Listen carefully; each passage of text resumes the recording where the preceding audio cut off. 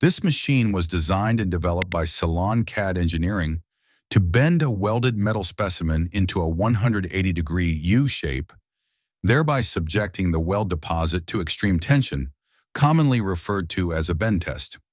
The full range of ferrous and non-ferrous bend test requirements of ASME, Section 9 and AWS can be met with the adjustability of this machine.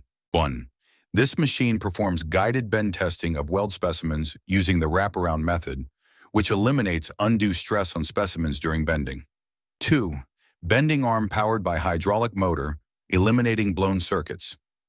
03 Heavy rugged construction provides long service life in adverse conditions. 4. Quick change tooling design makes interchanging bending posts fast. We are pleased to announce our open invitation to collaborate with Ceylon CAD on any upcoming or ongoing design projects related to machinery. If your organization has any specific design requirements, modifications, or new machine concepts that require development, our team is ready to assist with tailored solutions.